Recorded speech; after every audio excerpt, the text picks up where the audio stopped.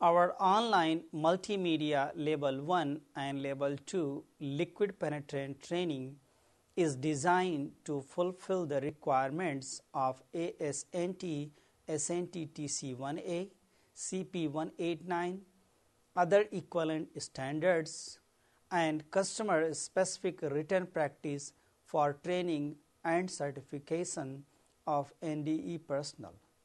Upon successful completion of this course, you will get high level of confidence in the general theory and application of this method. This course will give you 12 hours of credit for your certification in this method.